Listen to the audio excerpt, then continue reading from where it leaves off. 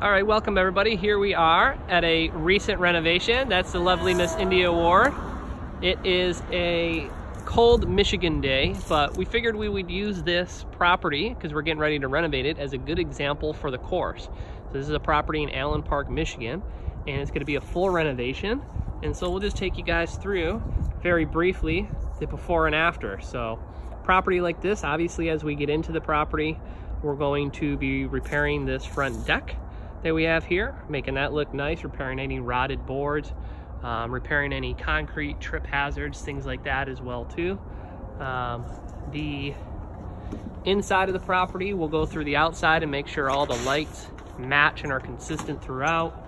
We've got this front door here that's going to get um, replaced, uh, as well as the screen door and the address to the property so that it's a nice, um, consistent, sharp look throughout. So you guys can see as we come in, we've got here the uh, original tile, which goes into hardwood.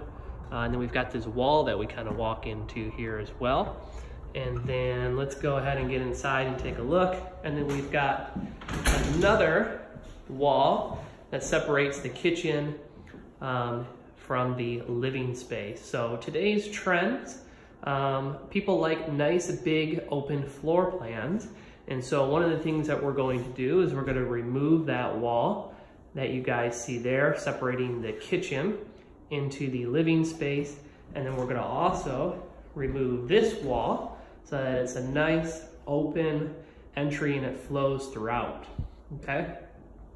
So um, in this property, we're gonna have to repair some of the floor um, footprint there where that wall is taken out.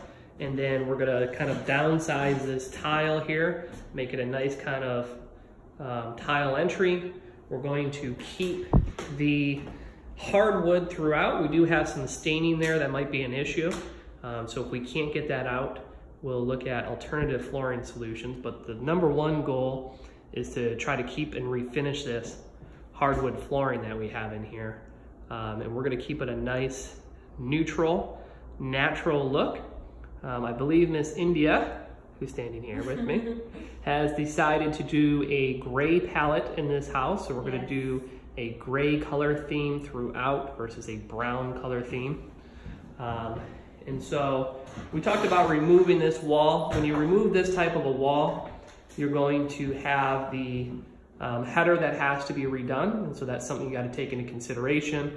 And then when you're dealing with an old house like this, you have the plaster that you have to take into consideration as well because you have this big, beautiful plaster work that's kind of done and it's like an arc. It's not just straight up and down and that's hard to replicate uh, nowadays as well too. So you have to take that in consideration when you remove those um, and how to repair them. But in the kitchen, obviously all new tile floor throughout. Um, these cabinets are going to be extended. That's gonna add a lot of value to this property. We're gonna extend them out to right about where this wall is now. Um, and it's gonna extend that countertop out as well too, giving the new homeowner in a small kitchen like this, a lot of um, countertop space and storage space as well. So uh, you guys might be asking to yourself, well, Dylan, that window sits lower than the countertop. So there's two ways to do it. We can have the countertops tiered where they go below that window, or we can actually replace that window with a smaller one, re-brick it, redo the siding, and then have that be a nice, consistent flow throughout there. Uh, the way that we're going to do it is we're not gonna get involved in that. We're going to just have it be a tiered countertop, drop below that window, and come over as well too. Um, and then these cabinets are actually in very, very nice shape, as you guys can see. However, we're going to recondition them to be white cabinets and add some hardware. Um, so white's gonna make this small kitchen really pop and look much larger than it is. They're gonna look like they were came out of the factory that way. You guys won't even be able to tell the difference. And then we're gonna put in a nice quartz countertop that goes all the way around through here with a nice tile backsplash as well too. We're gonna add hardware to the cabinetry um, and we are going to uh, put in an undermount sink with a nice pull-out faucet and all the goodies as well too. You guys notice we'll put in a stainless steel uh, dishwasher over here. And then um, we are gonna put in a stainless steel uh, hood van or hood vent as well too. The appliances are in pretty good shape. Um, we're gonna see what these look like when the kitchen's all said and done. Uh, if they look like crap, we're going to toss the appliances. Uh, you guys have heard me talk about in the courses before, I don't keep appliances um, and, or offer them in my renovations. The properties sell just as quick without appliances and I save myself two or 3,000 bucks. Uh, it's been my experience in past renovations that people will take the nice new appliances that we put in and toss them and replace them with their own anyways. And so the only appliances that we will put in are the microwave, the new microwave, and the new dishwasher. Um, and if these look good, they can stay. If they don't, they will go, okay? And then we're gonna make our way out here down the hallway.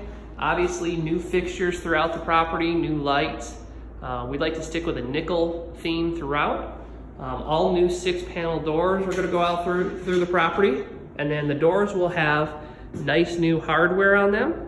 And you guys can see this old hardware that's here. We even replace all of that with nickel hardware because see that paint and everything that's get caked on them over time really looks like crap. And so we replace that in addition to all of the uh, incense, insets as well too. So that it's nice, new nickel. Uh, and those little finishes go a long ways. While we're here, we're gonna also talk about replacing all the electrical outlets so that they're consistent throughout. Nice white bright outlets um, and faceplate covers. And then we also replace all of the register vents as well too. And it's those little features that you guys hear me talk about in the course all the time that really make this look like a, make it pop without you even thinking about it. It looks like a new construction house. And then we run a nice bead of caulk around those register vents. Looks really, really sharp. And so we do that throughout the house as well too. So let's make our way back here. Bedrooms, nothing much to do here. The doors will be changed. The walls will be repainted. The register vents, the outlet, interior of the closet, that type of stuff. This door here, this pocket door, we're gonna leave and repair. You can also seal it in and make it just a normal wall. We elected not to do that. Um, and then you guys will see here, we've got some fogging in the windows and some broken screens. Um, so we will have a window come up, company come out, replace the um, seals, and then we'll get the screens repaired. Uh, the reason why you want to do that, obviously other than just aesthetics, is that most buyers, especially in the marketplace we're in right now, are buying FHA. And FHA is going to cite that and want you to repair it before you close as well as too. So if you have any cracked windows or any fog windows, um, they've got to get replaced in the renovation. That's what you look for before you buy the house. This is the backyard you guys can see here. Not much we can do in a Michigan winter because of the temperature. So we will go ahead and replace any rotted boards on that decking. Um, there's the hot tub, which has been winterized, as well as the in-ground pool as well too. So not much we can do in the wintertime. Um, if FHA does have an issue with some of the paint on that decking, then we just go ahead and escrow that paint uh, for the new buyer for repairs in the summertime. Okay? So we're gonna make our way. There's not much to do or talk about in the bedrooms. This is another bedroom here. You guys like that nice green color. India, we're keeping that green color, right? Absolutely. yeah, that's a hot seller. so, no, we're not. It's gonna be a nice big pink, nice color throughout, all consistent, all the same, neutral colors. You guys can see we have some more seals broken here um, in this window as well too, so those would get replaced. Uh, new closet doors, all of that. So same here, another bedroom. Simple, simple, simple. So you guys will see what this property looks like when it's all said and done. And then we've got the lovely bathroom, which we're not doing anything with. We're gonna leave it. So let's move on. no, just joking. Okay, so we'll do a nice simple thermostat. Don't do the complicated programmable ones because people will screw it up. Um, so we do the simple non-programmable thermostats. Um, and then the bathroom, we have a very small bathroom. And so one of the things that we're gonna do in here is a new vanity with a custom countertop um, so that we can maximize the space that's in here. We're going to remove that mirror and put up a nice simple framed mirror. that will just sit over the sink, new light as well, a new toilet, new flooring. And then you've got the bathtub, all of that stuff. Okay, we're gonna reglaze this tile and it's gonna look really nice, guys. Don't over renovate for the area. A lot of people come in and spend a lot of money on doing stuff they don't have to. In Allen Park, it's not an area where we have to tear all this tile out and completely redo it. And so you guys are gonna see that a lot of this tile in here is gonna get reglazed, including the bathtub, and it's gonna be a nice two-tone, meaning that top that you see black now is gonna be a nice color all the way around, is that green is gonna be a new color as well too. So we can salvage the tile that's in here. It's gonna sell very well in this neighborhood. New fixtures and of course in all the bathtubs, um, and then the new uh, shower head as well too, okay? So this is pre-demo. Demo is gonna start um, Monday. Today is, what is today? India, do we know? Friday. Today is, today is Friday. Um, so a couple days, this whole place is gonna be gutted. So um, let's go ahead and head downstairs now. You guys can see what we're working with. So all this is gonna get repainted. The um, carpet on the stairs is gonna come off and we're gonna repaint the stairs, the color of the basement floor, which is gonna be redone as well too. So we've got, it's really dark down here, so I don't know how well this is gonna work, but, oh, it's actually showing up pretty good. We've got a nice finished basement. It's dark down here because they painted the walls very dark as well. So one of the things that we're gonna do in here is obviously redo the electrical, make it consistent throughout, redo the light, and then we're going to take all of these ceiling tiles, repair any that have issues, repaint them um, bright white, and then paint these. Uh, oh, India, can you turn on the lights to the other room as well too? Um, and then we're gonna repaint these walls a nice light color for a dark basement so that it's nice and light down here um, as well too. So it'll look a lot better. Um, that carpet will be ripped out of there. See the color of the wall now in that closet? It's pretty much what the basement wall color is gonna be. And then we're gonna paint this floor um, gray, a nice gray throughout as well too.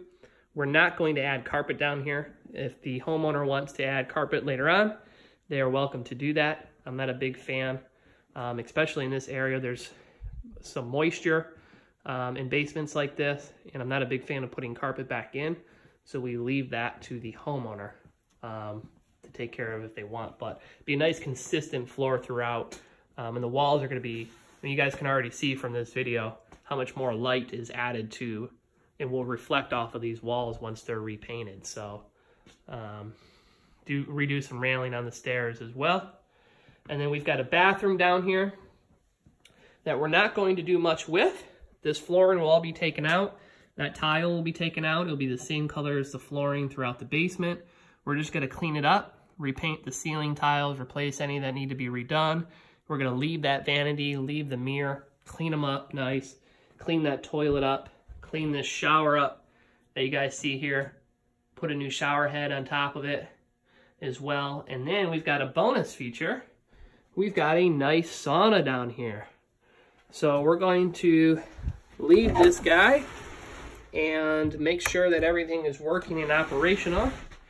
But uh, we've got a nice full sauna. We'll leave that tile on there, get this cleaned up, make sure that heating element's working, and this will be a nice feature for a homeowner as well too. And then we will move last into the, uh, what is this, the laundry room area. We're we missing a light here? Yeah, that one's out. So in here, you guys will see we've got updated electrical. This floor will be the color floor is the rest of the basement. We'll redo this wall with new pegboard so homeowner could add storage in there as well too. We won't paint